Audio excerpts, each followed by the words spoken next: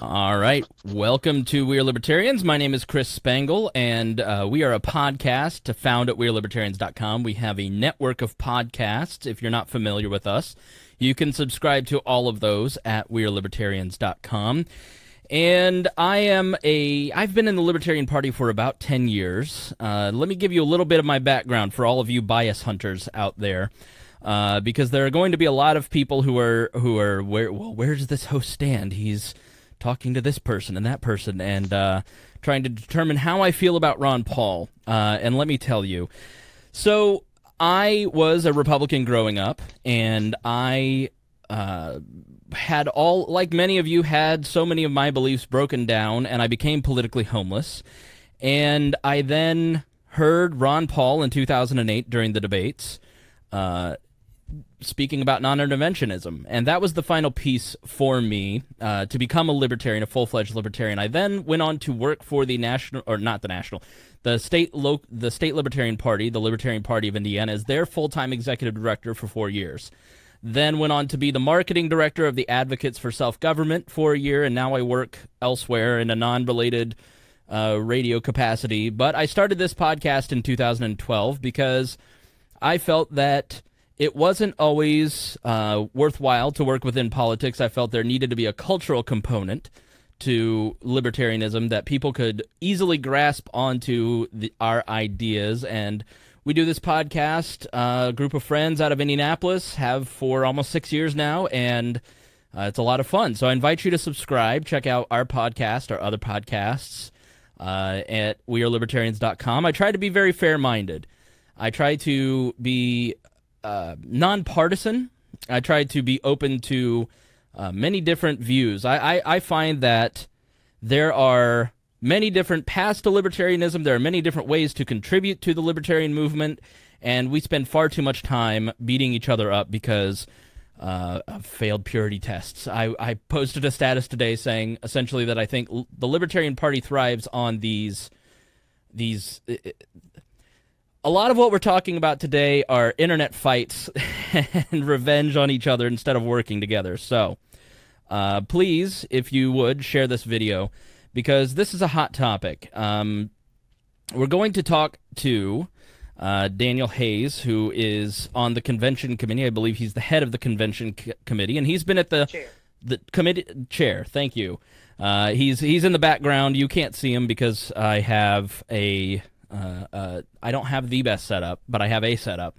So you'll see him on the screen to my left, and we'll hear from him in just a moment. But I wanted to set up this issue. He's been, Daniel's been at the uh, center of this controversy that launched uh, just a few days ago. And uh, for those of you who are of the blessed few in the libertarian movement that have not heard about what is happening within the libertarian movement, let me explain to you what's going on. I'm going to read to to set it up. I'm going to give you where it all started. The the Mises Caucus, uh, the chair of the Mises Caucus. I, I hit up Michael before we started this to ask him uh, how to pronounce his name, and we may talk to him after I talk to Daniel. He he had to do a couple interviews, but I feel he he represented his views very well in this article at lpmisescaucus.com.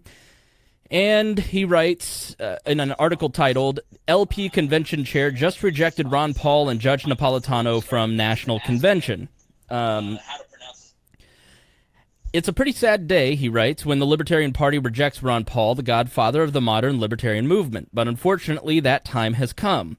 As many of you know, the LPMC has never been shy about our goal of shaking up the leadership of the party to give it a fresh look and principled direction that the majority of libertarians would be motivated to support. In fact, it is our major our first major milestone goal. We know that this would draw the ire of party leadership and its supporters, however, we feel as most libertarians do that it is badly needed and much overdue. I'm not going to read all of this. I'm going to read some of the parts that I think are highly relevant.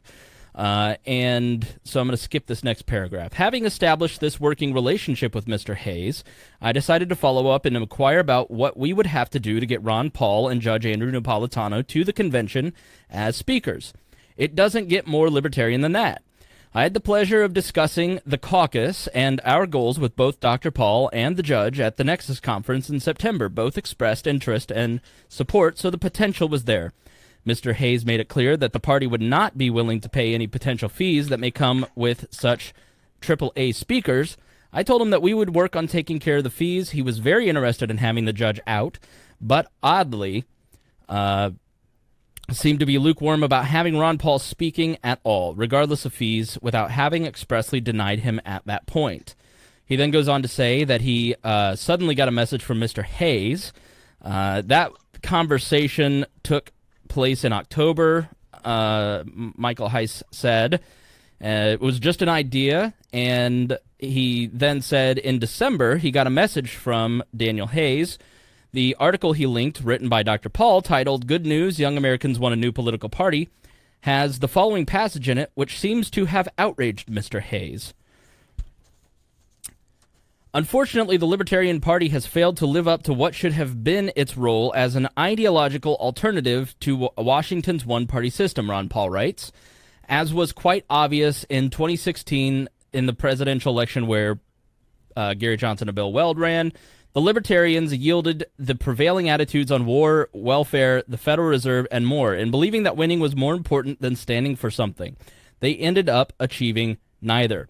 I would still like to have some hope for the LP, but to really fill its role as a challenger to our two party system, that is actually a one party system, it would need a major overhaul. It would need to actually embrace the core libertarian principles of non aggression and non intervention in the affairs of others. Um, he uh, then Daniel goes or not Daniel Michael goes on to write there is nothing untrue about that statement. Uh, he, he, there there are some screenshots which we'll we'll get into that Michael sent me.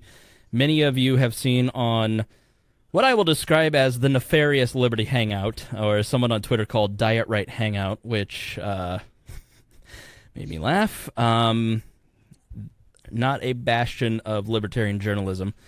So in October, uh, Michael and Daniel had a conversation. Um, uh, Daniel wrote, So, yeah, if they can get Ron Paul to come, we will cover his expenses and give them a table. Then Mises Caucus can sponsor a table. Michael writes, Let me make some calls, but I think we'll be able to get this done. Uh, then he then uh, Dan, Daniel said in an October 19th message that said if you can get Ron as in cover his honorarium I can cover his flight room and give him a gold ticket basically you guys are paying him to come represent us and we are covering his appearance Michael writes right uh, that's very pitchable to redacted very libertarian, Michael. You're redacting secret information. I'm going to turn into Edward Snowden, hunt you down. Uh, can they get a table if they commit to this? Uh, Daniel said, I think I can get that done. Uh, now, in as many people have seen, in some places, Daniel. Daniel, the convention chair, later on in December, sends this article and just highlights those portions of what he said. Michael, the head of the Mises caucus, decides to let it go for a bit. Uh, about six weeks, after about six weeks, I got back in touch with the representative who maintained an interest in making this happen. I decided to follow up with Mr. Hayes, head of the convention uh, committee, who at first saw my messages, then very unprofessionally ignored them, ultimately giving me a thumbs up when I said, I'll just tell him you aren't interested. So, unfortunately, that is exactly what I had to do. Mr. Hayes, who claimed Dr. Paul, has quote unquote no idea what we represent, ironically asked me for my opinion on, and support on courting Glenn Beck as a speaker to the convention. Let me, let me interrupt that. Uh, hold, uh, uh, uh, I'll give you a chance just here in a second. Um, because, because that's not what it said. Dr. Paul has no idea what the LP represents, not what we as libertarians represent. That's a very important distinction. Well, we'll we'll hold on just a second, Daniel. Okay. Okay. Uh, um. So then Michael, for his his part, goes on to promote the Mises Caucus and says you should keep being interested and participating in the Libertarian Party because there's no point in fleeing the Libertarian Party because then you can't change it. On that, I think everyone agrees. Instead of throwing a hissy fit on social media and stomping your feet like a little child, if you want to actually see the Libertarian Party, you should get involved, which is my my message here. Uh, now, let's go to Daniel. Daniel. Uh, Daniel Hayes is on the line. He is the chairman of the convention committee. And uh, Daniel, can you kind of give us a brief background of who you are and what you do in the Libertarian Party? Okay, so I became politically active in 2011. I got involved with the Ron Paul campaign. Um, I ended up being the uh, vice chair for Congressional District 1. Louisiana uh, was using a strategy of uh, getting control of the delegates to the Louisiana State Convention with the intent of putting Ron Paul delegates in that slot. We controlled four out of six uh, delegations. We won those. Uh, we, we, got a lot, a lot of things done, but we basically got infiltrated by the GOP, um, and that's a whole other story. But that's where I got involved. Saw the saw the sausage made in the GOP up close, and didn't want to be involved in that. So, always been a philosophical libertarian. Um, the, the the switch over to the LP was was um, pretty easy. Uh, and what years? is this? Know, it was obvious. Okay. You had a question? Yeah. What year was this? Uh, 2011, 2012. Okay. So I switched my voter registration um, after basically uh, it was it was clear that uh, you know what we'd done with the Ron Paul campaign had been um, compromised at the very least here in Louisiana by, in my opinion, was the the the the leadership within the campaign. So, um, and, and, then plus what the GOP did, did like I said, that's a whole long other story. But but I got involved with the LP. Um, actually, for six, eight months, whatever, said no, I don't want to be part of any kind of party leadership. We got involved in forming parish executive committees here in the state, and we formed one in my parish, Jefferson Parish. Uh, which is, you know, that's what us civilized people call counties. People that don't know what parish is, is a county. And um, so uh, April of 2013 was when I became got my first official title. Um, I serve uh, on the Louisiana State Central Committee as a representative for Jefferson Parish, still do. Um, I went to my first convention, 2014, um, sitting behind another uh, a state chair, kept turning around to me. He was running for Congress, or he was a former state. He was a delegation chair, and he said, "Why are they telling me what I, this is during platform, why are they telling me what I need to think as a candidate? And I was like, I'm with you. I get you. I mean, it's like, I mean, honestly, um, for those people out there, my idea of the libertarian platform, delete the whole, every plank, leave the statement of principles and the omissions plank 4.0 that says just because we don't talk about it uh, doesn't mean we, we approve of it. Because uh, I think that's really the libertarian thing. That's my views. Like I said, I, I find kind of ironic that we spend so much time telling people how to be a libertarian. But anyway, so because of that, that same person during our caucus um, turned around to me and said, if I nominate you, will you run? Had no plans on doing it. And I was like, okay. Came very close to um, actually ending up as the rep from, from uh, like within two votes um, for Region 7.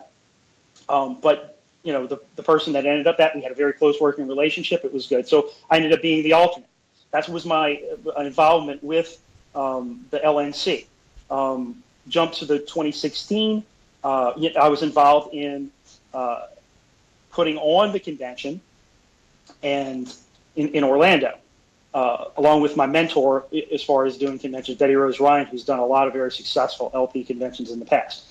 So, um, with that particular involvement, you know, we, we I, I, was a big advocate for getting this next convention uh, here in New Orleans, that being our midterm, because my idea, my feeling was for conventions uh, during our off years, we, we need to go someplace people want to go to. And, uh, you know, New Orleans is a destination city.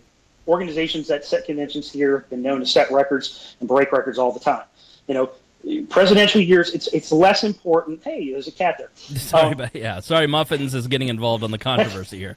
You know, it, these things happen. Um, that's that's that's why I'm sitting in this room. You know, when you start talking, they're all like, "Hey, what's going on, Dad? What's up?" you know, and I was like, "I'm going to the library," because otherwise, my big shepherd that, that's like up to my waist would be like, you know, up, up in our up in our business. Um, so, but anyway, putting on that putting on that um, the convention in New Orleans uh, during an off year, that was something I advocated very heavily for. Um, the the you know not because I live here, but because because I live here and know what New Orleans brings to organizations that put their conventions here. That being success. You know, as far as like a, a, a presidential year, I, I, feel like the location is is less important as long as it's got the proper facilities to handle our needs. Because um, because people are more interested in that. Um, that that's the reality. Um, politics doesn't does, is not uh, just on that one particular cycle. In fact, I wish everybody would quit looking at you know quote unquote supreme overlord and run for those smaller offices. But the, the, the reality is that's what interests a lot of people. So anyway, we'll get a lot of attendance from that. So so that said, um, I'd like to say, um, and by the way, if you see in the background, that's uh, the convention website, libertarianconvention.org, um, with regards to the 2018 convention. And uh, pretty much as of February 1, uh, you know, we had a lot of concerns because audiovisual costs and things like that and other costs on putting on, putting on conventions have continued to rise, and it's it, it's it's kind of um, cost prohibitive. And uh, we initially set a, a um, some prices for the packages that were higher than the final price for a day a day longer convention in 2016 for the super early bird prices. And you know, some members complained, and I just really um, went to the committee and said, "Look, guys, we need to we need to look at uh, look at you know restructuring the prices." And we had a vote on this, and you know, a big discussion, and uh, we did get that price restructured. And so, jump to February 1st, you know, people were concerned that we wouldn't be able to pay for it by the number of people that come and attend and what they pay, what packages they pay for. And jump to February 1st. Um, this convention is currently in the black. So this is on track to be the most profitable convention that the Libertarian Party has ever had. Um, we've never had a convention that's that's I, I, don't know if we've ever had one that's been in the black before, like the month before the convention, and, and this one is is there five months ahead ahead of that. Now, is this all about you know money and, and, and you know well, politics is about money, um, and you know we want to put on a good convention. We want to have biz- business. We want to put on things that are exciting to where we can inspire and educate and motivate people, but if this convention can help to bring money into the LP, then that helps us help our candidates, help our affiliates, and help the party grow.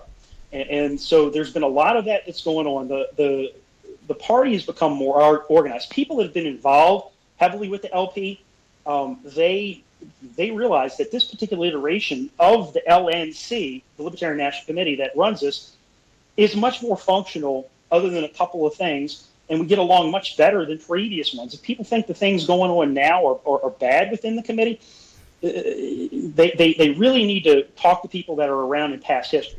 So we've been getting a lot of things done. Uh, donations are up. Uh, you know, we, have got uh, a great head of development, Lauren Daugherty, one of the one of the staff members that that the LNC hired. Uh, she's tremendous. She's she's really does a great job of of developing relationships with donors, members, etc. And, and so she's been a tremendous asset. Um, now, so my background, like I said, I, am I'm, I'm chair of actually on the LNC. Uh, I'm still involved at my local. I'm a local activist. I do lobbying up at the state capitol. I'm on our state central committee. Um, I'm, a, I'm a, a, a, treasurer of the Louisiana Association of Parliamentarians. I'm the uh, president of, of my local METR unit. And um, then as far as LNC, I'm, I chair our affiliate support committee. I, uh, when Bette Rose Ryan had to step down for personal reasons. She's still active and she's still a consultant. I actually talk to her fairly frequently uh, for historical reference, etc. But she had to step down, and then uh, I was the vice chair of the convention committee, and that's the point at which I stepped into the role of being the chairman of it. Um, from the initial start, I was the uh, speaker coordinator, which is what I had done in 2016. Uh, people felt like things went well with that, and so I, uh, I was going to continue in that respect.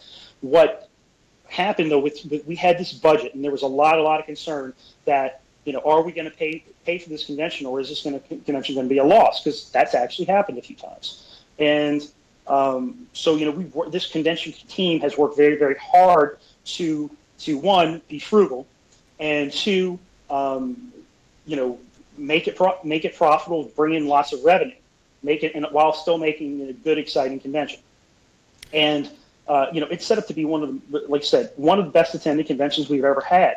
We had a room block of 1,018 room nights when we first got it from the Hyatt. It is currently, uh, I'll get the next pickup report uh, this week, but it, at, at last Saturday, uh, it was 1,088 room nights that we had booked. Hmm. It's set to be a very, very well attended convention. Things are going really, really well. So, um, you know, this this thing with the speakers and the controversy, the budget that I had to, with which to use for speakers was for a national convention uh, somewhere around thirty five hundred bucks. Think about airfares. Think about things like that. That's not a lot of money. Sure, and I've seen Ron Paul request thirty thousand dollars. I know uh, you mentioned Glenn Beck. At one point, the LPIN had reached out to him, and he wanted one hundred eighty thousand dollars and a private jet. How long ago was that? That that was years. I, that was years ago. Yeah. I, I, see, here's the thing. That was Fox okay, News very, days. That's an interesting one because because you know, and look, in, in this whole thing is like you know, oh, the convention committee chair wants Glenn Beck over Ron Paul. Look, I, I mean, I've met Glenn Beck multiple times, and you know, real nice guy. Actually, he's very very um, if you see when Nick Sarwark was on his show, he's holding a piece of paper with our with, with our platform and statement of principles, and he's like gushing. He's like, "This is beautiful." He's very, very, very complimentary towards the LP. You know, that said, I, uh, you know, uh, he, he uh, to my understanding, I think he, he's he wants to come to this convention on his own dime as a speaker. What it costs? That so consider that with what they said to do in the past. But that's my, my understanding. I think that was what was on the table. Well, the, the odd thing about it on, is, and let me just, you know, sure. I Glenn Beck, I have followed him. I met him back when I worked in talk radio and have followed him for a long time. I think I promote his stuff because he has a really good, very libertarian prep staff. I mean, there are things that where we disagree with him, but there are a lot of things where mm-hmm. we agree. And I think part of the problem with most – Libertarian Party folks is that they are looking for the places where they disagree with someone instead of where they agree because they've been so burnt in other parties and by other ideologies that they're very scared of that happening again. And Beck has moved over the last four years uh, since the Fox News days in a very libertarian direction. And one of the biggest episodes of We Are Libertarians was titled "Is Glenn Beck Welcome?" And because he was four or five years ago trying to make overtures to the party, and it was it was very clear for most people that he's not welcome here. And there are a lot of people who were in the Tea Party at that time that got the memo that they weren't welcome. And that's part of the problem. It's Judd Weiss is called the Libertarian Party uh, dog kennel, where you have this nice little sweet puppy who wants to get involved, and then you throw them into a dog kennel with wolves, and then they just get their ears bitten so many times they leave after three years, and I've seen that so many times over the last dozen years that I've watched the LP. And Beck is one of those people where we have a lot in common, and so I understand the the desire to have him speak, and he's somebody that I'm willing to listen to. Uh, I mean, you don't have to you don't have to buy in, and people who criticize Glenn Beck go back and look at some of the conspiratorial stuff that he used to say on Fox and CNN, and it's like, well, Ron Paul was on Alex Jones all of the time, you know, like that that's part of the libertarian thread is that our leaders and our our people will look at things and try to think out loud about more controversial stuff. And I, I, don't, I don't get it. I don't I don't get the impulse to throw the baby out with the bathwater water on anybody because it's it's it's bizarre to me. So did is Glenn Beck coming to speak? Uh, no, we never got to that point. Like I said, the, the, the thing that came up. When, so so I'd been working with Mr. Heise with the Mises Caucus, and we were having those discussions. And and you know, uh, there was some some some initial like you know animosity because they they they're like they they've got this very uh, they're saying they want to form a coup. So that's what a lot of what's going on here. And let's we'll talk about that stuff later. But but this is about trying to make this particular LNC looked at, and they're taking every opportunity to do so. And there, there seems to be this alliance, and it's pretty apparent to people that are paying attention of which this alliance is that really they dislike our current national state chairman Nicholas Sarwark, and they they are willing to do anything to get rid of him, no matter what damage it does to the party. But but as far so Mr. Heise though, you know, we kind of I kind of sent him a little trolling comment because he sent me a friend request and I was like, hey, so you're ready to get a table, blah, blah, blah. And, he, and he's like, actually, yeah, we are. So we started actually having some discussions and we started talking. And I mean, I look, I was very complimentary of him. He got me in touch with with Mr. Um, Jim Cantrell, one of the founders of SpaceX, current current CEO of Vector Space Systems, who is scheduled to speak at our national convention. And you know, Mr. Cantrell is an incredibly impressive person, and his topic is going to be something along the lines of technology versus tyranny. How you know space and technology are the answers to the current woes of the erosion of liberty that people are experiencing. And so, you know, I'm sorry, I'm still a little boy, and you know, that's you know, the space geek and things like that, and get, that gets me excited, and I'm sure it gets a lot of the other guys out there excited. You know, it's it's that gee whiz stuff, and so that was a tremendous uh, connection. And um, you know, Mr. Like I said, Mr. Cantrell was, expressed interest of getting more involved in all kinds of ways with the party, and that's something that we were very, very um, amenable to and, and so we, we really, we really hope that relationship grows. And and that was really good. And I was I was at a point where you know so Mr. Heise came to me. Well let me finish with the Glenn Beck thing. I, I, I said to him I said so what do you think about Glenn Beck? Because a lot of people were like no no no no no. And and the Glenn Beck he's had this offer out there for like 10 months. So this has been a long time that he's interested in speaking.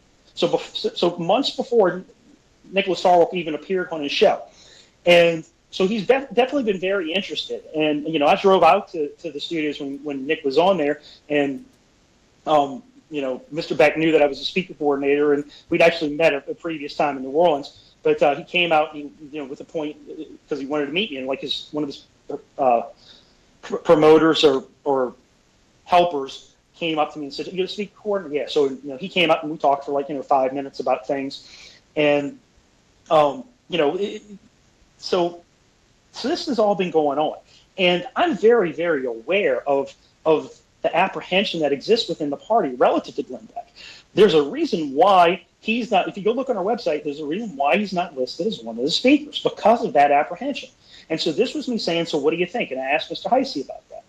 And so, so for people, there's people coming around saying, you know, we're, we're, we're taking Glenn Beck over Ron Paul. Well, if you look, Glenn Beck is willing to come for Nothing. And yet he's still not there. Now, does that mean he's going to speak or not speak? I mean, that's something that, you know, uh, there's people out there that's also acting like, you know, I'm just this, you know, uh, authoritarian making these unilateral decisions.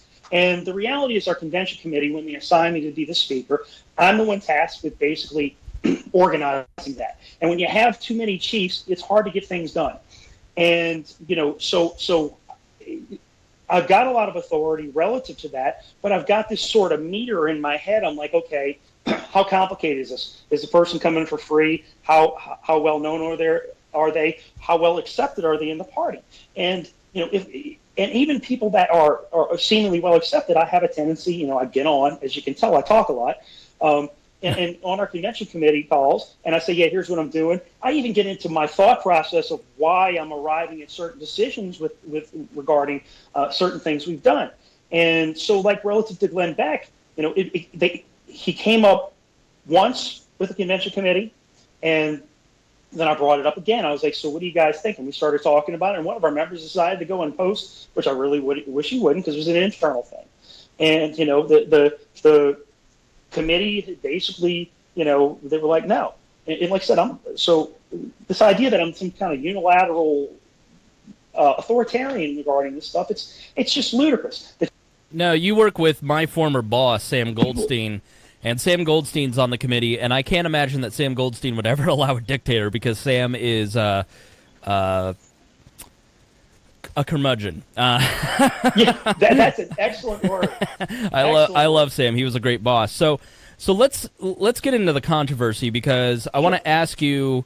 So so you said that you went in to he sent you a friend request and you sent him a trolling comment previously. I mean, okay. did you did you did well, you go into what was your what was your relationship with him previously? I mean, were you going into it with some sort of adversarial attitude with the Mises Caucus? Um, well, the, the, the Mises Caucus had an adversarial attitude to, to me. So it's so it's you know I mean I'm, I'm, i consider myself to be a bit of an empath, and a lot of times what people see from me is maybe a reflection of themselves. Um, you know, um, you know, and let's not get into the whole whole aspect there.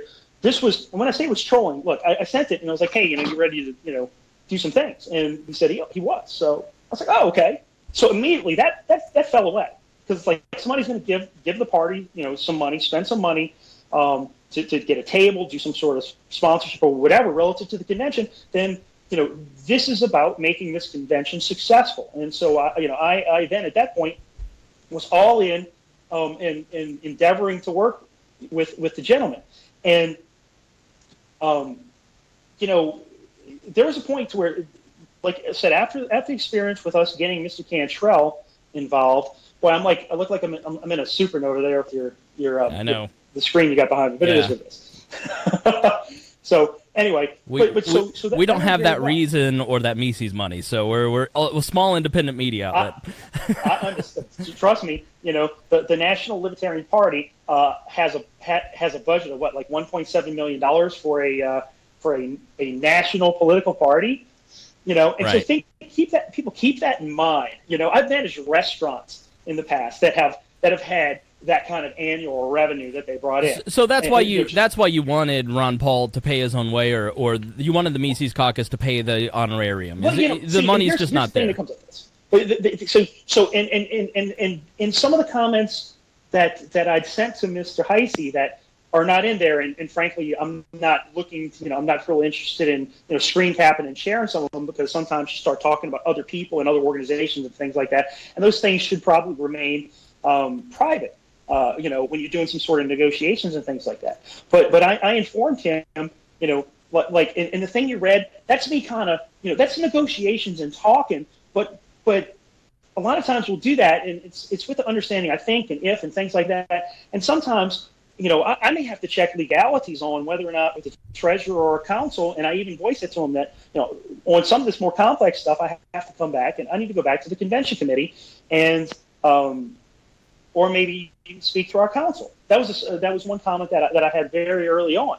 And, and this stuff is not always so cut and dry. We're a political party, and so how and where and we get money is something that comes under great scrutiny. And while I may even say, well, well, here's this, it's an idea, but before we can actually actually implement it um, and, and, and go forward with something, that's you know a lot of that stuff has to be checked because um, the reason we're here, government. You know, we can't just go out and voluntarily associate and say, "Here's what we're going to do." Well, you're going to do this, all right? Blah blah blah. It's you know, there's all these hoops and restrictions, and and you know, you're never. It, it, it's really complicated, and you're not exactly sure what you can do a lot of times. And so I'm always, you know, looking at looking. You know, I, All right, a lot let- of times, so let me you know, let me I- cut you off there because Okay. we get that point. Flat out, what is your opinion of Ron Paul? Um, I think Ron Paul has been a fantastic statesman for um, for the liberty movement. You know, Ron Paul is the guy that brung me. My experience um, in the past with some of the people surrounding Ron Paul has been less than desirable. And so, actually, there's a video response that was put out by Ron Paul just the other day. And if you watch it, you know, it's like, you know, he the whole thing about oh, you know, convention committee chair bans Ron Paul. Ron Paul is a lifetime member of this party. Ron Paul has absolute a- ability and, and right to come to the convention as a delegate. And then they say, you know, Ron Paul refused to speak. Well, you know, there's a lot of people that, you know, don't end up speaking uh, for whatever reason or another. And so this is a complex situation. Before Heise even came to me and pitched his idea, I was had had had an idea of getting Ron Paul to the convention um, related to something going on with, with Dr. Walter Block, who's a good friend of mine. And, and, and, and that got shot down by everybody. It was basically a, three-way abortion debate with Ron Paul doing the pro the pro life thing, and I was like, "Whoa, okay." Was it And, was you it so- shot down because of the speakers, or was it shot down because it was about abortion? Uh, oh, let's make it clear. It was because it was about abortion. So, so the whole time I've been really amenable to this. Part of what's going on here, when, when, with, with, with Mr. Heise, you know, there's there's this whole thing, and like he, there, I've got a screen cap of him saying, you know, somebody says, "How's the coup going?" And, and he's like, "It's working." So this whole thing, you know, I, I, I didn't just fall off the turnip truck. So I was working in good faith, but I, I, you know, I always had this feeling. It's like, look, this is something that somebody is is looking to use for some kind of political advantage, and, and I was literally at a point to where I was going to request with Mr. Heise because we'd been working together and it seemed to mostly be going well, and, and I was thinking about asking him if he'd be interested in being um, my assistant speaker coordinator, and you know, but then I saw some other, you know, rhetoric or, or ratcheting up of, of, of uh, stuff towards the, the, the LNC and the current leadership when we were supposed to be burying the hatchet. and however he got there, it was at that point I decided this is somebody that I really was not interested in working with. So why would you? Why, so- so let me ask you, why would you send him a message in December with the Ron Paul article where he basically, you know, talks about how the current leadership of the party. I mean, being current leadership, you would you would probably take that personally. Uh, and and I would so say like he, they don't really need to do a lot to make the current leadership of the Libertarian Party look bad. So why would you why would you if you felt that he wasn't in uh, in your corner, why would you send him a So message again, giving him an now, now, ammunition? now, you see, what I'm talking about that that decision of how, how I didn't want to work with him anymore was January. okay. Okay. So, all right. So, so, so that's in the timeline there. And and you know, in that article, he, he says I unprofessionally ignored his his his his meetings, even though I saw. 'em."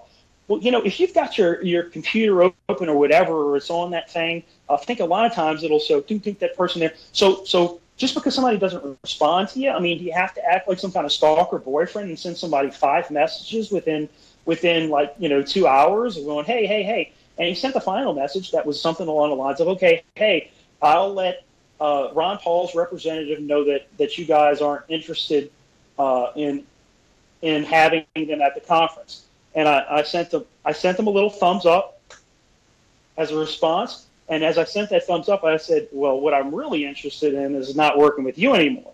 And and, and look at the article. Find where I've ever said, other than that, where where I said I wasn't interested in having Judge Napolitano there.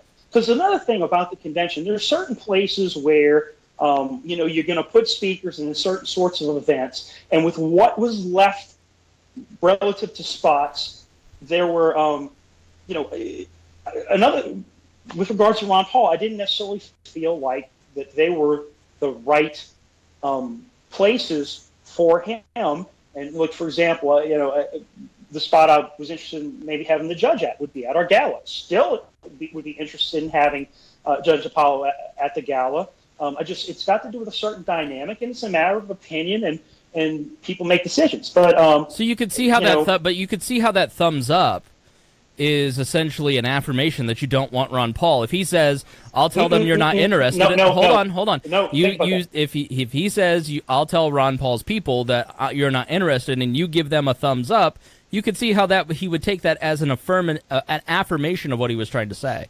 Okay, but but, but but but once again, so people make decisions all the time, and there's a lot of things involved here. And with regards to what's trying to be done, the the convention committee and our budget and the LP does not have the money, or it certainly did not have the money at that point to try and spend you know up to thirty-five thousand dollars or seventy thousand dollars to have two speakers like that at the convention. Mhm. And so, just because we're making some, or I was making some sort of decision, uh, you know, one way or the other, and, and a lot of times I'll tell people something, and then when we have our meetings, I'll say, "So, guys, here's what I did, and what do y'all think?" And I'll get the input from the committee, and you know, I, I, I'm always willing to revisit things. And you know, the main the main point out of that though was was was just Mr. Heise. You look look at the response there. Look at what he did, because I just said no, thank you. Right. So, well, but I mean, is, is, is would you would you, so so? and then- I and I will give you so credit. I will uh, to in your defense. It isn't necessarily professional to take a screenshot and blast it out there. And and, and I asked. Mr. Heise before this interview, did you? Are you the one who sent this to Liberty Hangout? Are you the one that you know? He said he had an interview with Reason set up. Are you the one that really pushed this story? And uh, I, so I have to ask you: There's only two people that could have put those screenshots out there and made this a story. Are you the one who sent screenshots to other people, or, in your opinion, was it Mr. Heise? I uh, so people will have seen that recently I've been sharing screenshots of things. Um, I have not sent those screenshots to anyone Okay. So before before that. So, so in other words, these are confidential negotiations, and sometimes, or should be, and sometimes things don't work out. right. So in was your decision to really say no thanks to Ron Paul? Was it a combination, or was it a definitive part of the article that Ron Paul wrote about the leadership of the So- LP, or or was it more the relationship with Mr. Heise had gone wrong? So, so um, you know, let me, let me let me find this particular uh, screen cap I have here in my phone. Okay, so this is from back in October. This is one that I've started sharing around in some of the various Facebook posts. Um, and I said, also, I've thought more about it. And since we have a video address from Ron Paul in the main hall last year, I would want to just focus on the judge.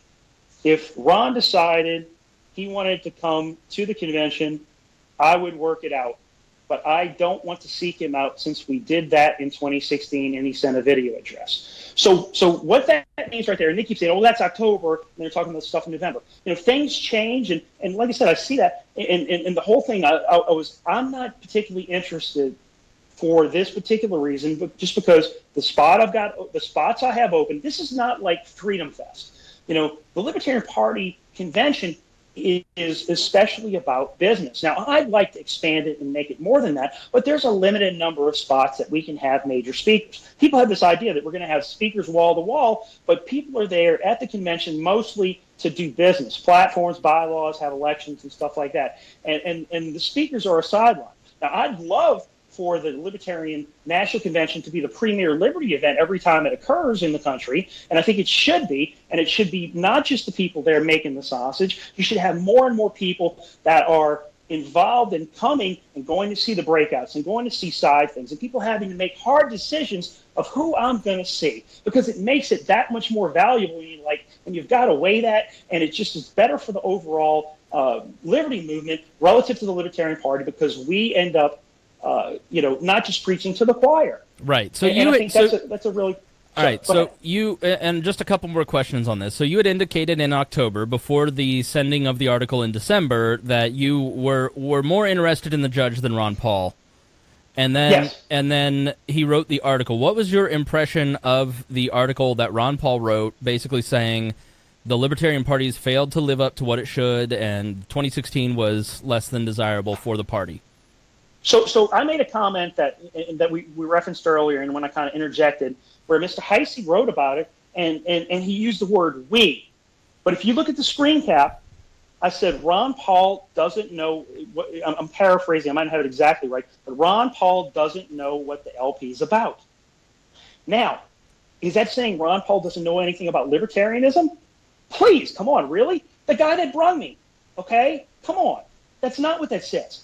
When is the last time that Ron Paul has talked to a current leader of the Libertarian Party, the Libertarian National Committee? When is the last time he talked to our chair personally? So, I, you know, uh, that's my point. Ron Paul's saying something, but he's hearing things from people, and I think a lot of it's got to do with the staff. I mean, look, Ron Paul's, you know, he he's, he's deserves to be able to rest on his laurels from the past, but but the fact that he something like that is put out there's an agenda being pushed. If you see, uh, you know, uh, uh, that video response that was done with him, there seemed to be something pushed. And if you looked at the, at the way it was, it was posted, that uh, Ron Paul is not getting on Facebook and posting things himself. His staff, the people around him, are pushing a certain narrative that is not necessarily exactly what Ron Paul thinks. And so I have to say this look, and, and, and I even said it uh, the other day if Ron Paul shows up at our convention he walked in the door and showed up at our convention and just said, Hey, I was able to show up and I had no idea about it, I would probably say, Dr. Paul, I will find you a spot on, somewhere to speak to to the, to the to the body and work something out and get some kind of thing. Even if it was having him do an intro to one of the meal speakers when we're having having a meal or something like that, or you know, we'd figure something out. And, and so, you know, Ron Paul is a member in good standing. He's got a lot of support. What what we have here with this situation is somebody over taking a few small snapshots of something that's been going on over five or six months, or, or at least four months. I don't want to exaggerate. Over extended period of time, and trying to act like this was just like, hey, you know, let's have this, and then we say no to Ron Paul and, and, and the judge. And like I said before, the judge, I have been interested in, never lost interest in him. I did. So there's a screenshot in there when I was like, hold on, wait a second. Um, I, I can't necessarily get involved with this because you know these are not the only people that we're pursuing. These are not the only avenues that we have. And this was a really complicated sort of a situation and possibly some quid, illegal quid pro quos with how you set it up. So it has to be done properly. And that's something that, that was, you know, made it, made it, that's another factor that figures in there. So, so part of my thing is like when I see this video, I'm like, this is not, not worth it. When I'm like, oh, Ron Paul's out. That was me trying to say to him, let's quit talking about him and let's focus on the judge we had phone conversations, and I and I, said to him, I said, "Listen, no, I'm really interested in the judge. That's who I'd love to get." And in that article that Mr. Heise just put out, he's saying, "Well, it's a package deal: Ron Paul and, and, and the judge." I think it's, it's something along those lines. You know, they, they, the judge isn't interested in coming if his if his friend Ron isn't coming. Well, how does he even know that? All right, has so, that been? So let me let me okay. let. I, I feel like we've we've completely covered that, and I feel you've done a good job of making your case. And as Paul said in the chat, you can tell that Michael released the screen caps because he's in blue. Uh, so I just want to ask a couple questions because you are on the LNC, and I've called for Arvin Vohra's resignation. And as as Michael points out, Michael Heise, the head of the Mises Caucus, basically says we're we're not focusing on purity, and that's why we're losing. Which I will, after this interview, get into why. What is the tension between Ron Paul and the Libertarian Party? Because this is not new and I'll give you all the seeds of that.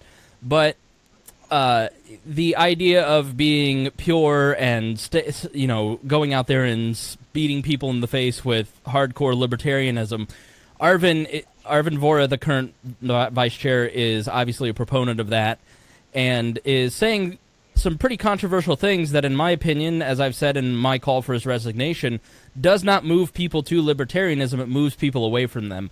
What is your personal opinion of Arvin Vohra and what is happening on the LNC in regards to Arvin? So, Arvin is an incredibly bright person. Arvin is super smart. Arvin uh, is really, really, really good at messaging. So, what he has done with the things he's done, he knows absolutely what he's doing the the thing about it, and, and look, and, and I think that that is a bad uh, outcome for the Libertarian Party. And, and, back up there though, when you first started, did Mr. Heise say we need to be pure, or is is that Arvin, or is that a reference to Arvin? No, I think there, uh, and I, I I don't want to lump Mr. Heise in with uh, Arvin, but there it, it, there are two strains within the Libertarian Party. There's what I would call the pragmatics versus versus the radicals. If you want to be very binary about it, obviously it's much more complex than that. Uh, but there there are a group of people who, by and large, want to say the most basically the most anarcho-capitalist thing you can and that idea of saying what our vision of what we would look like at the end of our process, wh- what the world should look like, will bring people to the Libertarian Party versus a group of people within the party who believe politics exists as it is now, and this is the framework that we work within, and how do we how do we propose so, policy? And Arvin so, so is definitely in that ex- in that latter camp. Explain to me though. So you, I mean, you, you, you know that's one thing that's had me very curious because uh, isn't the Mises Caucus filled with people that are basically anarcho-capitalists? And so Arvin's basically advocating for getting government out of things, getting rid of government. And those should be positions that they agree, agree with, even if he's expressed them poorly. And, uh, you know, so, so th- this is not, this is more of some, some kind of gotcha type politics. This is about political advantage. There are people, I mean, if you guys don't see it, you know, this, this whole intent, uh, I, I think uh, this last one has been engineered to, or, or opportunity was wait, opportunists were waiting to try and make political advantage of this, but at the expense of the party. In, in defense of those people, when Nick Sarwark, who I think Nick has functionally been a great chair. I think the office is operating as good as it's ever operated. I think that the hires that he's made at the party, along with the LNC, has been good. But Nick has these little snarky comments and he just seems to not be able to help himself and it makes not only him look bad but also the entire party. And so when he makes these snarky comments against you know not only Tom Woods but also myself you know and Jason Stapleton and like the people who have the big microphones and you can't fight back and it and it's you can see how Nick's comments about Tom Woods and the Mises uh, Institute, how that only contributes to this being a bigger deal. Because then you start to go, well, maybe I'm not welcome if I read Rothbard in the Libertarian Party. I mean, you're kind of the, they they do have somewhat of a point that the current LP environment there seems to be this attitude from the top that uh, you know while Arvin may be a purist, uh, Nick Nick is is certainly taking a shot at the more right leaning libertarians in the party. And, um, and I'm sorry to make you defend another person's statements, but I, I think that's an important piece of this puzzle. So so so let's get into this. Is Tom Tom was an intellectual. I believe so. Yes. So so so what appalled me with Tom Woods with that Twitter fight, and and and that said, you know, I don't think that whole petition or whatever. I don't think that was well conceived, and it just didn't do any good. But I, but part of Nick's thing was there was people that were conflating the the LP, especially with Cantwell and all that stuff that went down, conflating them with you know the alt right, the Nazi movement, and things like that. And he want he felt the need to distance it. Did Nick do that the best way he could? No. But however, Mr. Woods is supposed to be an intellectual, and he sure did get down in the, in the dirt. The thing that really got me wired with the whole situation when I saw it on Twitter was, you know, a guy that I I, I arranged to pay to come to speak at the 2016 convention is is, is you know one he's call, you know this guy's an intellectual and he calls Nick Sarwark a pansy and low IQ. Well, one thing about the people don't know about Nicholas Sarwark, Nicholas Sarwark went to college, I think, when he was 13. So for somebody to say that Nick's that, that kind of ad hom is just, it's, you know, it's it's not what should be happening. So so there's bad behavior all around with this situation, and and, and the fact that you pay somebody to come and speak, and then they start, you know, talking you know, uh, negatively and say don't donate to the party and things like that. Well, gosh, you know, it doesn't necessarily motivate you a whole lot to, to, to have that kind of experience again. So that's one thing that, that, that also affects, you know, some of the decisions we make with regards to, to speaking and things like that. Um, so, so on Nick, Nick and I, we have philosophical disagreements on things. However, I don't focus on them. Nick, Nick saw, okay, I, I'm going to, here's, here's some real blunt things in 2014, I did not vote when, at my first LP convention. I did not vote for Nicholas Sarwark in the first round. I voted for him in the second round. In 2016, I did not vote for Nicholas Sarwark. There was only one round. That said, I was contemplating it, but I was involved with one of these caucuses that was coming in, and we're going to change things. We're going to take the party in a more professional direction, yada, blah, blah, blah, blah, blah. And so jump to Nick Sarwark 2.0, that being this current term. And Nick started implementing things, hiring certain staff, and moving a plan and moving the office in a direction that was absolutely where I wanted. And so while Nick is is sometimes snarky about things because it's part of his personality, and I, I, am sure Nick sits there and thinks, eh, gosh, you know, maybe not, um, or maybe he doesn't. But I know this mouth I've got, you know, people have no idea how much of a filter I put on it. I'm, I'm, I'm you know, and and it's still bad. And and you know, so so you know, I said to somebody the other day, I'm a terrible politician. But one thing that I am is I will work my ass off for this party. I take so much of my time out to do this, and I'm not asking for pats on the back.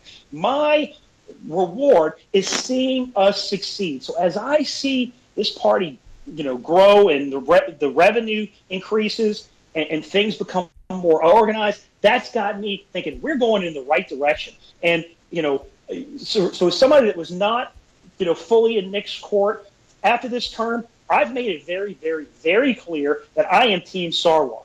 I think Nick is moving in the right direction. He still has has room to grow, but so do a lot of us.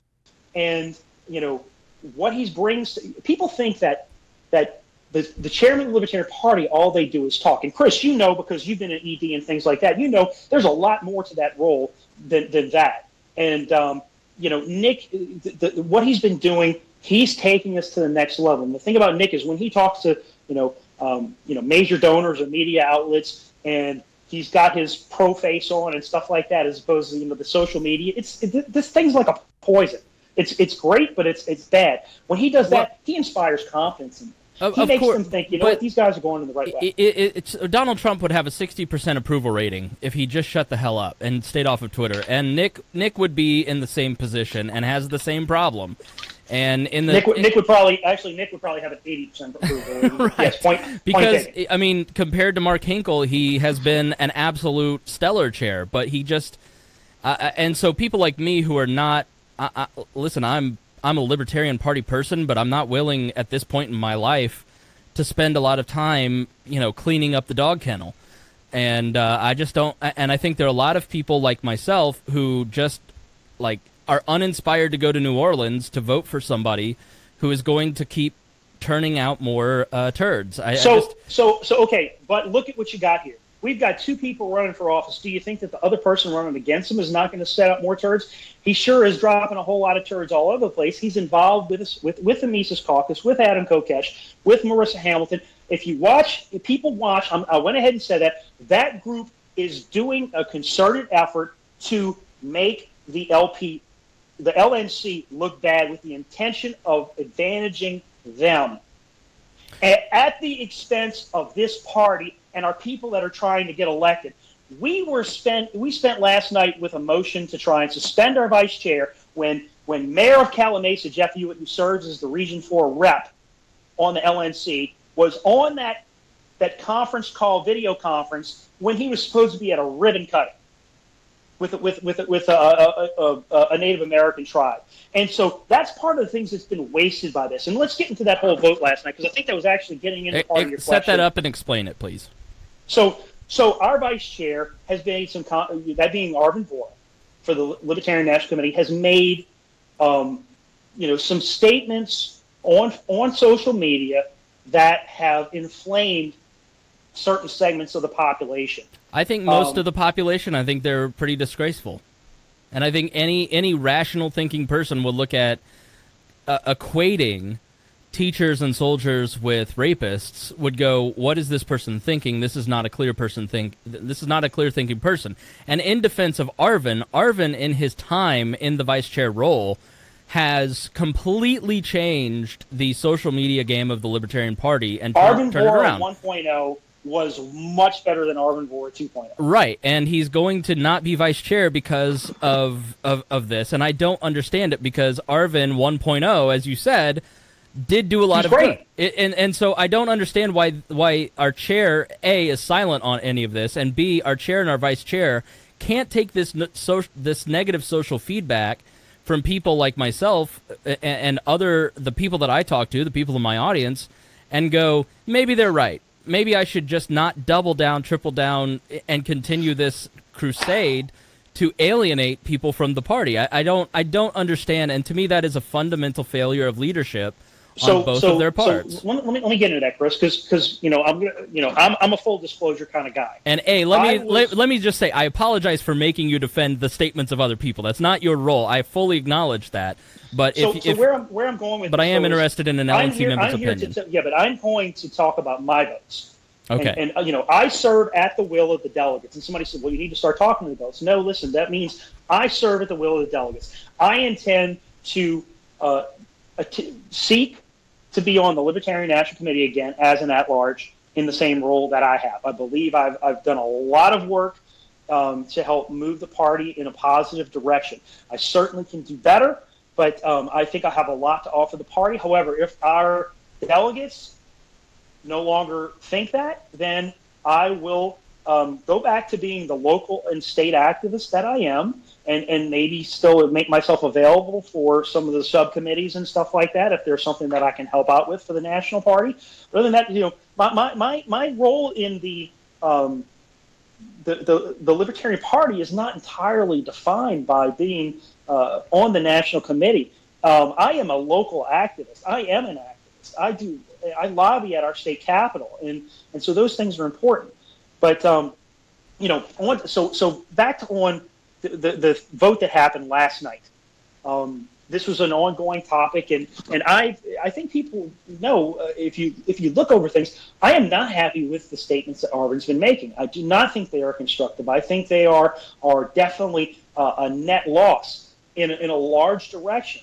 However, having come from a state when, when I joined the LP, one of the reasons why the leadership at that time, to my understanding, was trying to expand and add the, the parish executive committees was that with the way the bylaws were written, that would have put more votes on our our um, our state committee, and they there had been a, a, move for about a year, and they were in a four-year cycle, which that's like forever in libertarian terms. Never, never go to a four-year cycle for your um, for your leadership in the yeah, LP. It's exhausting. But uh, but but a year into it, I came into a bunch of people that were involved in infighting, and that that whole cycle continued through that whole term.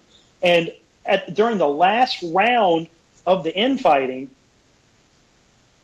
there were I, I, I think it was 72 grievances of petty BS submitted to our ad hoc judicial committee.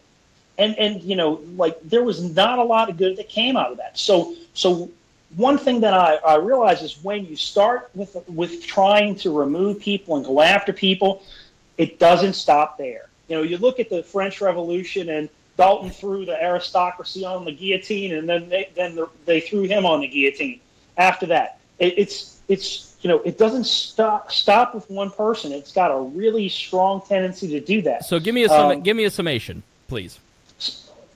Summation is you know I've got some lady pointing at me. Hold, All right. All right. Yeah, I, and I fully understand give me, that. Give me one second. Yeah, sure. No, that's fine. I, I, mean, what's that? To be fair, um, thirty minutes. Uh, let me mute him. He's uh, getting in trouble with his wife for being long-winded. Uh, I'm, I'm being thrown thrown out here. I, I, got I got time though. I told her thirty. All right, minutes. yeah. So uh, this is this is I got I've got two more minutes with you here. Uh, so give me give me just a couple. Give me your final thoughts on Arvin Vohra. Why why should I stay involved in the Libertarian Party, despite having a vice chair or a chair that doesn't fully represent my beliefs or behave in a way that I find uh, leader leader it's not but, but, because because the only person that can represent you 100% is you.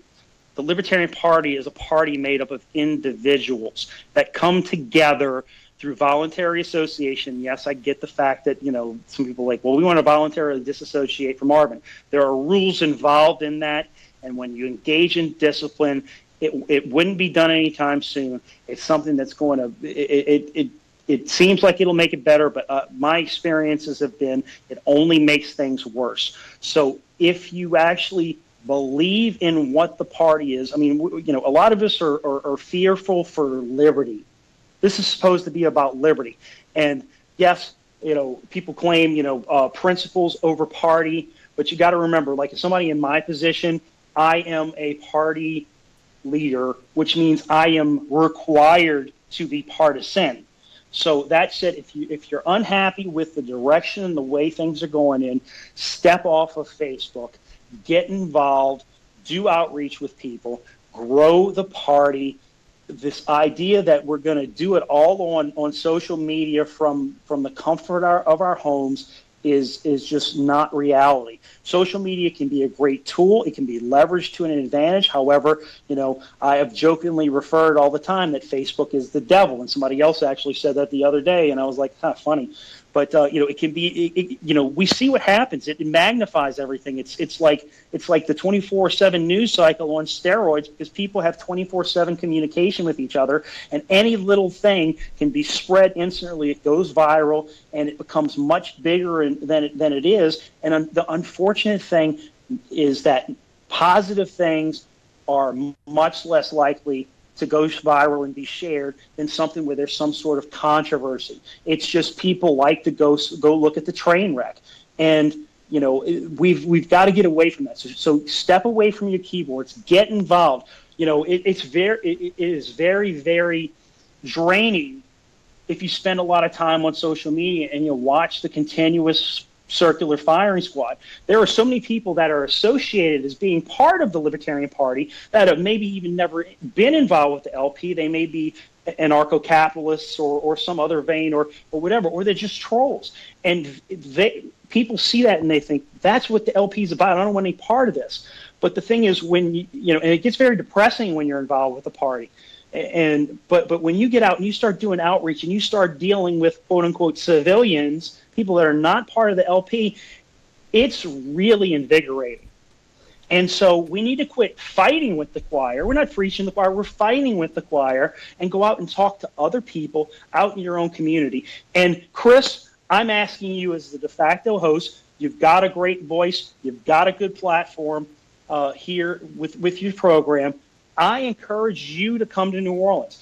You help make the party what you want it to be because only you can represent yourself. 100%. Well, I will be there. Uh, I'm going to message you Thank about you. media credentials, uh, but I will definitely be there as I, as I move more into the media realm. But I thank you for being here. How can people find out more information on the convention? When, where, how, what website? So, so it's you have to spell it out. It's libertarianconvention.org.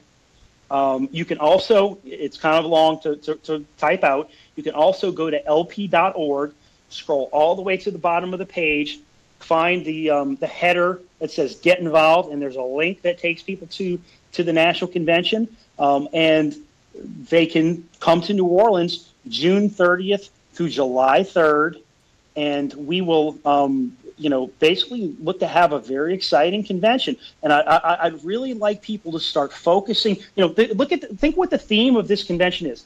I'm that libertarian. People have forgotten that moment. I cannot express enough how people need to see that. And if you see people that are just simply looking to divide people, looking to purge people, are is that really what this party needs? If we are going to actually succeed as a political party, we need more people in there. And I get there's a whole lot of things that need to be fixed in that in that particular realm, but but but making it worse is not, not going to make it better. And you know, yes, there's things that need to be improved with the leadership, but but but that's part of growing. And we've got a proven track record with a lot of the people that are involved in the LNC right now, including our state, uh, our national chairman Nicholas Sarwark, that that that is inspiring confidence in major donors. We have we have more money coming into the party, and it's not just about money, but politics is a money game, and that's what's going to help us to start to compete. And so we have got to, to, to do more to bring things in. And one of the things I've taken a lot of uh, offense with with some of these other people is when they, they, they start acting like the sky is falling. Because I've seen it happen. I was involved with a caucus that they were doing that, and that was part of the reason why I nearly nearly switched my vote to Nick. Um, you know, that sky is falling thing and, and, and trying to put a, a magnifying glass on any and everything that's wrong and even some things that really actually aren't wrong and mischaracterizing things is not going to help the party.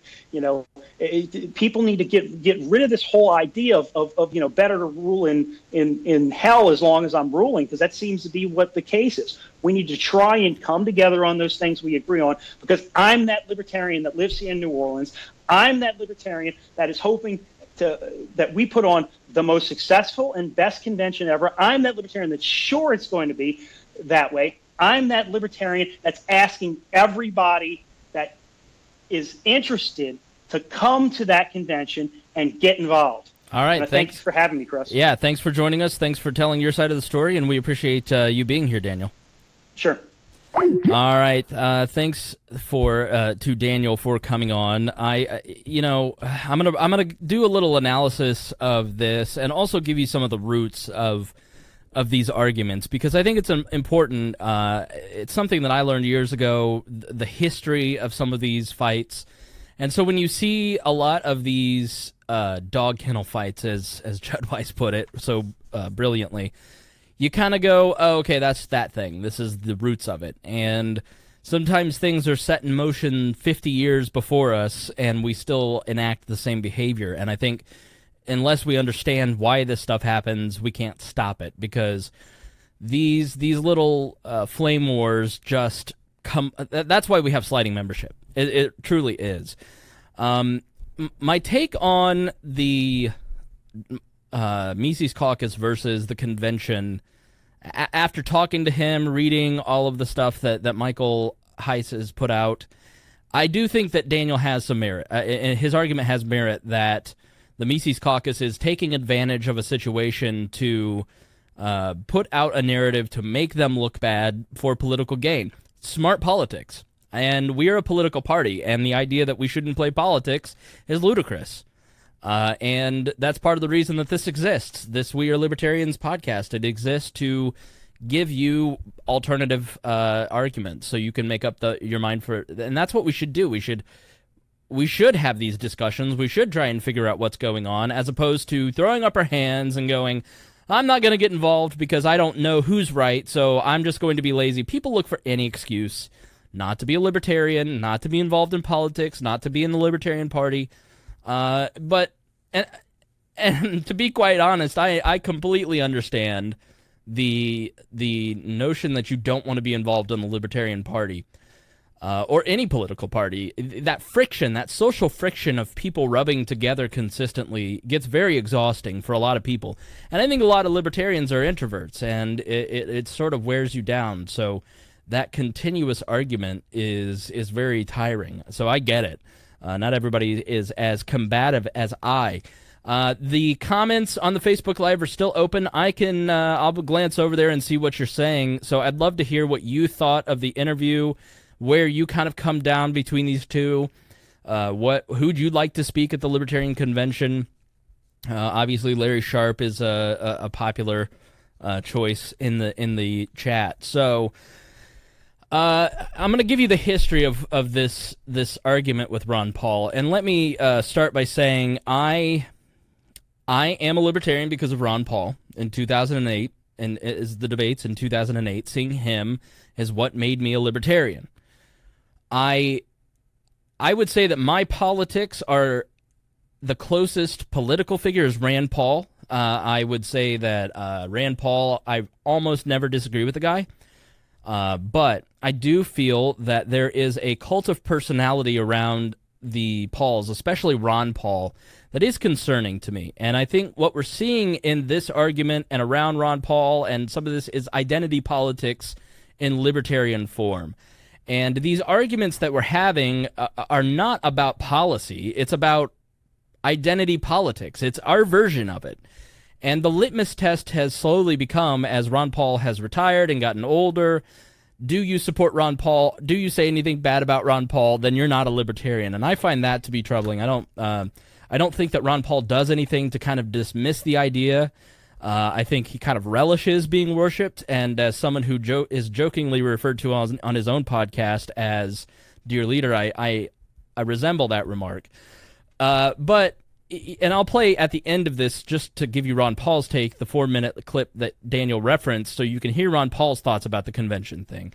And you you hear him kind of saying he's kind of stoking the fire but he's not you know addressing it. He hasn't talked to daniel. He doesn't really know what's going on but am i you know he's stoking it. So to get conversation about ron paul started. And uh, there there are things about ron paul that are not always great just like any other person any other human being has flaws uh, and I think the allowance of the cult of personality around himself is one of those things that I find to be an issue. Uh, I, like I said, there isn't. There are very few people who have done more for the libertarian movement than Ron Paul. So don't get it wrong. I, I greatly respect the man. I've met him. He is uh, a genuinely decent human being. He is a, a the person who had more impact on the modern libertarian movement than any other person. So you know, and that should be celebrated. But he also shouldn't be a godlike figure that is not able to be criticized. If if the Libertarian Party had come out and said, "We fundamentally don't like that this person, this Republican congressman, continually speaks ill of our party, so we would not like to have him speak at our convention," I'm okay with that. I understand that. Uh, and there are a large section of people who go, blah, blah, blah, you know, and look at it look at it from a, a reasonable perspective. Ron Paul has since 2008 because of Bob Barr taken a very dim view of the party. And a lot of his criticisms about the party are completely valid. And I think a lot of what Michael Hayes, Michael Hayes uh, Heise said in his piece uh, on the Libertarian uh, Mises Caucus website is very valid. And I think there's a lot of issues. And you know, I I brought those up in the last hour. So Ron Paul, I think, is a libertarian hero and a libertarian icon for a reason, but I don't believe that we should uh, ever have any person in the libertarian movement that is above criticism or critical thinking. And everything that he does, like any other political figure, should be examined through the lens of what you believe so you can make the best judgment. Um, you know, so uh, a lot of this goes back to Murray Rothbard and Murray Rothbard versus the Kochs, the Koch brothers. And I don't think a lot of people really understand the history of Murray Rothbard versus the Koch libertarians. Uh, you know, Murray Rothbard was an absolute genius. Uh, he he took the Mises uh, and the Austrian Economic School to to prominence, uh, popularized by Ron Paul's runs. I mean, they Ron Paul, when he ran in 2008, 2012, took the Mises Institute and uh, Murray Rothbard and implemented it in most people's minds as this is libertarianism. And I do have, I, I have uh, friction with a lot of uh, people who are who are absolute devotees of both because they assume that like you know our friend Roger Paxton and the, and the anarcho capitalists that live in New Hampshire, who ironically worship the Republican congressman who is uh, an, a statist, in by their definition, um, you know they there is this strain of thought amongst them that they are the libertarians and this is the only strain of libertarian thought that counts. I don't buy that. I think it is uh, a I'm I am not good with economics. Okay, I'm not. I, I I'm interested in people. I'm an ENFJ. I love people. I love how people interact. But once we start adding math to human interaction and human action, I start to go, I don't get what you're saying. So I rely on people like Murray Rothbard to to explain economics to me, and I've learned a lot. Like Anatomy of the State uh, is a very short book, very good book for for you to read. I I previously was anti Mises, anti Rothbard because of those interactions with people and listening to Lew Rockwell, who I think is a tremendously negative person. Uh, despite his work, which has benefited the libertarian movement, when I listen to his podcast, I just get depressed. so, so I, I, for a while there didn't listen to a lot of uh, Murray Rothbard and uh, a lot of the, the Mises crowd. But Tom Woods, listening to his podcast, I think he is um, I love Tom Woods. I think he has taken the the negative edge off of everything and given a very positive spin and been a very good ambassador for a lot of people for the Mises the Mises crowd and uh, has really reawakened my interest in a lot of Mises and Hayek and Rothbard. But Murray Rothbard was very influential and involved in the beginning of the Libertarian Party, the beginning of National Review, the beginning of the Cato Institute, Murray Rothbard, uh, you know, the Betrayal of the Right kind of outlines his traveling through various political circles from the beginning of the right with, you know, National Review over to the left. And he's a very interesting character. He's a very uh, divisive character. And I think a lot of that has to do with his personality uh, and his willingness to call it as he sees it. And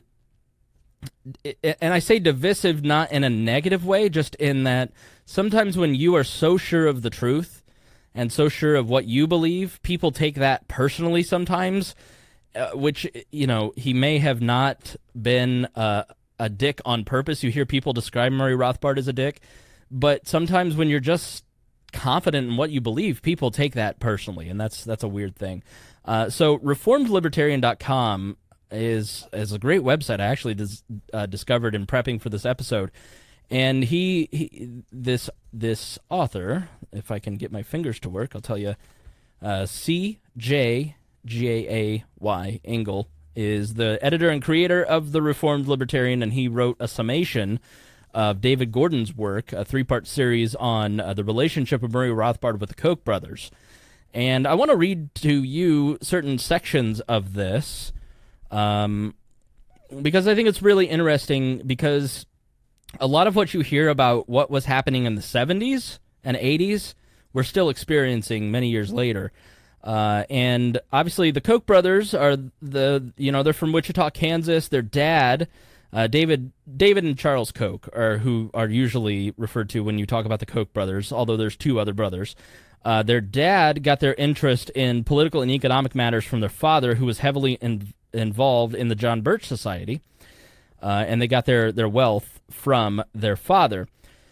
During his schooling, uh, CJ writes, Charles stumbled upon the work of Murray Rothbard and eventually decided to use a piece of his billion dollar wealth to fund an organization dedicated to promote libertarian ideas. In fact, Charles was so enthusiastic about Murray that Murray was one of the four original stockholders of the organization, along with another important character of the story, Ed Crane. Of course, Charles was the majority stockholder. It should also be mentioned that the Koch empire was behind the creation of Reason magazine, the Institute for Humane Studies, Students for Liberty, George Mason University's economic think tank, the Mercatus Center, and Americans for Prosperity. Due to Koch money and now the Charles Koch Institute and a lot of a lot of the things that you love about the Libertarian Party, the the, the resources that you use have been backed by Koch money. And so uh, when libertarians hate the Koch brothers, I don't quite get it, but I think this article kind of explains it. Um, this began, now it's called the Kochtopus. The organization that the Koch started for the advancement of Rothbardianism and Austrianism was the Cato Institute in 1977. The name was Rothbard's idea based on Cato's letters. Um, Rothbard was thrilled. Here was the reward for decades of tireless and lonely efforts to carry forward the dying flame of the Misesian economics. For years, Rothbard was nearly alone in his appreciation for the Austrian school and his gloriously stubborn dedication to the strict property rights theory of liberty. But finally, an organization which could host him and advance the message of the next generation. Uh, and, and I find that inspiring. I mean, here's somebody who is so dead set in their belief and stubborn in what they believe and unwilling to compromise that Rothbard's name, I think, will live for generations. And, and, and I think eventually, the way that history shakes out, Austrian economics will be, because of technology, the way that most of us live post city state uh, government. Unfortunately, the problem started early. Charles Koch had hired Ed Crane to run the day to day operations of Cato and Rothbard to lead the intellectual and academic development. Crane's pragmatism over principle mentality on the growing Cato Institute led him to both downplay the organization's goal of developing intellectual content of a libertarian think tank, the reason Cato started in the first place, and later in the story to dismiss academic contributions of Rothbard and his scholars as mere as a mere distraction. The head of Cato's Inquiry magazine was Bill Evers, he was berated by Crane for focusing too much on the development of ideas and not enough on gaining influence in Washington. Here we see a glimpse into the future of the pragmatist versus principle debates that flourish in the libertarian movement today. Um, in the context of this tension, and I'm skipping paragraphs for the for the sake of time, but I will link this at wearelibertarians.com in the show notes if you want to read all of these articles. Things began to break down when Rothbard discovered that the decision had been made to hire David Henderson, who was not an, econom- an economist in the Austrian school, but rather le- leaned far to the Chicago school, which was best represented by uh, Milton Friedman, uh, the Chicago School of Economics, uh, University of Chicago. This was a very important event in the unfolding of his relationship, Rothbard's relationship with the Cato Institute, because the entire mission of Cato in the first place was to give Rothbard an outlet to advance the Austrian vision. So to hire one, uh, one person from a different school, uh, put the message of Cato at odds. Um, the next step in flaring tensions was the efforts of Crane and Koch in 1980. They went all in for LP candidate Ed Clark. Ed Clark and Ed Crane are two different people, so let's keep. I'll try to keep this straight. With the Koch's money behind him, David Koch joined Clark on the LP ticket so the entire campaign could be paid for using Koch's own money. To this day, uh, the Koch, the the the Clark Koch campaign is the highest get. Uh, actually, I think Gary Johnson may have beat them, but it was always the highest uh, of all the vote totals. So you know, for kind of undermines the argument of the purists. If we just are pure enough and give a pure message, then we, we will win. Well, the most successful campaign pre Gary Johnson and all the media that he got, uh, which was why he was successful, was Clark and and Koch giving a more pragmatic message. Um, so in short, it was, uh, and I skipped. I'm skipping an important part, but basically, Rothbard was pissed that Crane, Clark, and Koch all started to redefine libertarianism as a low tax liberal. The idea that we are, uh, you know, e- economically conservative and fiscally liberal, that is uh, a direct result of this, and Rothbard didn't like that. Uh, he assailed this as a betrayal of the libertarian principle. Um, so, in short, it was due to the positioning of Koch and Crane and the person of Ed Clark that Gary Johnson is now misconstruing libertarianism as fiscally conservative and socially liberal. Um, the underlying differences here are obvious, and therefore the problem was festering far deeper than just disagreement over a silly campaign. Rothbard emphasized and stressed the need for scholarship and developing ideas. Crane and Koch, however, sought to secure the audiences of power. Murray Rothbard's own and separate newsletter that was in print from 69 to 84, the Libertarian Forum, which you can read, uh, I think, at the Mises website. A lot of great stuff in there and all publicly available. Lew Rockwell has done a great job of preserving all of Murray Rothbard, Mises. Jeffrey Tucker played a hand in that. We've in, in an interview with him, he told us he was responsible for putting up all of uh, this great material. You can get all kinds of free ebooks at Mises.org. Same with Fee. Now that Jeffrey Tucker's there, he's taken the the uh, taken the show on the road to Fee, Fee.org, and uh, also our friends at the online uh, Liberty Library. You can get a lot of great books there too. So, um, here was Rothbard's independent outlet, free from the chains of Cranes and the Charles Koch strict oversight of PR matters. Uh, he was able to announce the libertarian world as the true roots. Uh, he writes, so um, it it started to continually break down, and as things got worse uh, over time. Rothbard was removed from his position at Cato and no longer invited to speak. And as for the legal problem, namely Rothbard's stakeholder status, it soon became apparent to Rothbard that battling the billionaire brothers was beyond question. Going to result in a tragedy for Rothbard. He would go broke. I mean, and so Crane informed Rothbard that his shares had been arbitrarily voided, and Rothbard could no longer participate in board meetings. Rothbard knew it was over. As Rothbard later accounted, Crane, uh, and he called anybody who was a supporter of Cato and Crane craniacs at the time uh, as a pejorative. Crane, aided and abetted by Koch, ordered me to leave Cato's regularly quarter board meeting. The Crane Koch action was not only iniquitous and high handed, but also illegal, as my attorneys informed them before and during the meeting. They didn't care. What's more, in order to accomplish this foul deed to their own satisfaction, Crane and Koch literally a portion uh, uh, appropriated and confiscated the shares which I had naively left in Koch's Wichita office for safekeeping, an act clearly in violation of our agreement as well as contrary to every tenet of libertarian principle. So this was his property, and he's he left the property in Koch's office, and Koch stole it. And so Rothbard was wiped out clean of his stake in Cato and was no longer welcome. He was uncompromisingly his uncompromising mentality and dedication to the libertarian system, over and above his dedication to popularity, had once again done him in.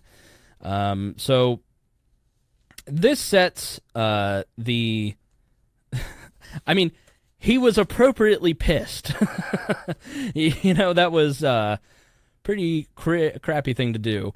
Uh, at Cato, they remain anti-gold standard, pro-central banking, and non and anti-non-interventionism, which I don't agree with that statement. But uh, you can certainly find some of their scholars who are a lot of uh, uh all of those things, and anti-Ron Paul. All this because they remain anti-Rothbard. Uh, Gordon writes, as mentioned in part one, the Kochtopus strategy strongly opposes the Mises Institute, which aims to continue the Rothbardian policy, policy of Austrian economics, laissez-faire, and peace that Cato was established to promote. Uh, Reason, now under Koch patronage, did not react to Ron Paul's The Revolution. Uh, they should praise it, but they didn't, they said. So this is the the the beginning of the split. Uh, and for anybody who was a friend of Rothbard was appropriately horrified by this.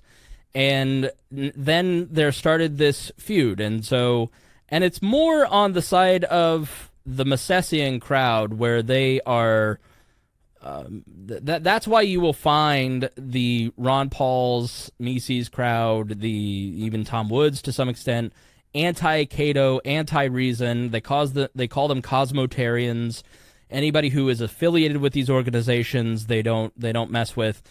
Uh, and reason and any Koch affiliated group doesn't really uh, spend a lot of time talking about um, any of this. I didn't understand this because I was reading Reason in 2008, 2012, going, why aren't they covering Ron Paul as much as you'd think they would?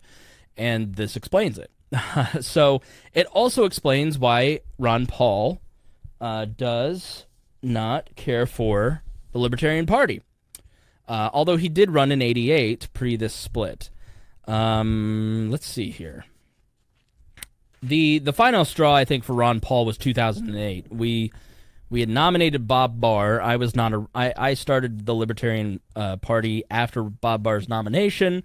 Uh, at the time, I was still, you know, casting off a lot of my Republican beliefs, and so I was in favor of Bob Barr. Looking back and being further down the libertarian rabbit hole, I see he uh, he was a huge mistake and really was. Uh, I, I mean, uh, just Bob Barr is is he pretended for a while. He did a great job pretending that he was switching parties and a libertarian. Uh, but in 2008, in September, um, this is from Dana Milbank and the Washington Post, uh, posted at herald.com, heraldnet.com. Bob Barr goes hog wild after Ron Paul event. Now, Ron Paul had given up the goat, and uh, you know my my official um, I stopped being a Republican when I went to the 2008 convention in the state of Indiana. I was the only reporter in the entire state to cover all three conventions. And uh, the Republican convention at that time kicked out about 300, some say 600 Ron Paul delegates in 2008. And I just remember this woman coming up to the media stand and nobody there would talk to her, but I was I was like 23 and kind of libertarian leaning. So I talked to her and she's just weeping about how this had all how this had all gone down. And it was one of the biggest mistakes uh, talking to some party people later on in the Republican Party. They said it was one of the biggest mistakes they'd ever made because it happened in every state convention across the nation. Ron Paul delegates were systematically removed so they couldn't go to the uh, Washington to the main convention that year and not vote for the main, you know, for John McCain eventually and Mitt Romney. And they did it twice. I mean, I remember in 2008 and again in 2012 them illegally changing the convention rules in the Indiana State Convention to screw over Ron Paul delegates. I had county chairs because they didn't know my affiliation when I worked for a news talk radio station. They think, oh, he's in talk radio. He must be a Republican. Saying, oh, the second we hear somebody's a Ron Paul delegate or a Ron Paul fan, we kick them out of the party so fast. And then 10 minutes later, I remember this person saying, you should come, you should be a libertarian, you should be a Republican. You should join the party. I heard you uh, are a Libertarian Party person. He goes, I go, okay, how can I possibly reform the party if you're going to kick me out because I like Ron Paul? So the Republican Party uh, clearly was hostile towards Ron Paul. He was never going to get the nomination because they the party was so corrupt. Um, and so after he didn't get the nomination, he uh, held this event in in September, and he invited all the third party candidates. Uh, I forget who the Constitution. I think it says it in this article. Uh, he invited Bob Barr, Ralph Nader, Cynthia McKinney, and Chuck Baldwin uh, to the event. Chuck was the Constitution candidate who Ron Paul would go on to eventually endorse. Bob Barr, the Libertarian. Ralph Nader was, I think, an independent, and then Cynthia McKinney, who was the Green Party. Cynthia McKinney, certifiably insane. Um, so, so Ron Paul wants to elevate third-party candidates after the treatment that he got in 2008. So he puts on this event, and uh, Dana Milbank writes, "Ron Paul, the libertarian gadfly." The Washington press never was going to give him a, a shot who, who launched a mass movement in his failed bid for the GOP nomination, convened a third party unity event at the National Press Club today to bring Bob Barr, Ralph Nader, Cynthia McKinney, and Chuck Baldwin together into one big happy family. But as soon as Ron Paul reached out to apply to the uh, applied the Revlon to the snout, Bob Barr went hog wild, turning in, into a barnyard brawl. Uh, Paul told the crowd at Ballroom, I'm during the event. He is on stage saying, I'm very pleased that we have some special guests here.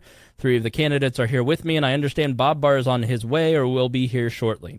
Well, not exactly. Barr, the LP candidate for president, never showed for the Unity event, instead, having an aide hand out notices at the door announcing that he would be making a major campaign announcement at a rival news conference in the same place two hours later.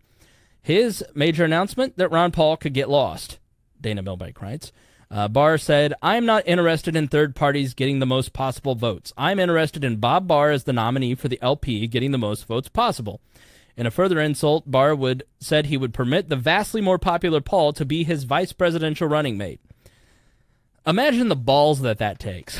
like, like, you don't show up to his event. Who knows if he told him he wasn't showing up? You hold an event and then say, "Be my vice presidential candidate." Paul partisans were appalled. Uh, I will be withdrawing my endorsement. A man identifying himself as an independent blogger declared from the audience. Me too, called out another. I was going to vote for the guy, but I think he's about as arrogant as George Bush. Uh, so third party unity didn't even last a day. Um, so and I'm trying. Uh, yeah. So really, uh, Bob Barr, I can I can understand his not wanting to be on the same footing as Cynthia McKinney. Like you don't want a moral equivalency between you and an insane person being made by the national press, but the way that he handled it was so insulting to Ron Paul. And uh, ever since then, Ron Paul Ron Paul didn't give Gary Johnson a chance. By 2016, he was calling him milk toast, and uh, you know Gary Johnson was much more ideologically Paulian in 2012 than he was in 2016. There was this weird thing in the Johnson campaign in 2016 where he thought he would reach out to the left and uh, Weld would re- reach out to the right. And Weld, being a member of the Council on Foreign Relations, again, as I said earlier, Gary, you know, Ron Paul used to go on Alex Jones. Uh, the Council on Foreign Relations in libertarian circles is considered the driver of interventionist wars, which they kind of they are. I mean, I, I read the Council on Foreign Relations consistently, and they are always pushing the narrative of we need to um, intervene in other nations for America's security. So the idea that anybody from the Misesian crowd or Ron Paul was that was going to endorse Bill Weld, a ticket with Bill Weld, was ludicrous from the beginning. So that's why you get Ron Paul continually, you know, even though the ideology of the Libertarian Party and Ron Paul are the closest, that's why you see him endorse Chuck Baldwin, the Constitutional Party candidate, staying out of uh, things in 2016. That's why you get that kind of tension between the two. So, when Nick Sarwark, uh, who is a very intelligent man, who probably understands this, if I can understand it, Nick can understand it, when he when he tries to uh, slap the Misesian crowd, that's why there's such a strong clap back from that crowd towards the LP. The LP and uh, I, I, applaud Michael Heise and the the Mises caucus for trying to heal this rift, but I also think that they need to understand that a lot of this has to do with personalities. The Kochs screwing over Murray Rothbard in the 80s has nothing to do with our ideology, ideology now and our policies that we're trying to promote now. And the the rhetorical argument of we need to be pure and not milk toast is a very clever way for people who agree with the cosmotarians and the reason crowd and the Cato crowd 99% let's say 90% of the time uh, it's a clever way to keep everybody hemmed into a certain camp. Uh, and you know, people like me come along who who who respect both. And I think there are a majority of libertarians now, 40 years after all this happened, 30 years going, I don't get the hostility. Why why can't we just get along? I understand the history, but like Murray Rothbard's no longer alive.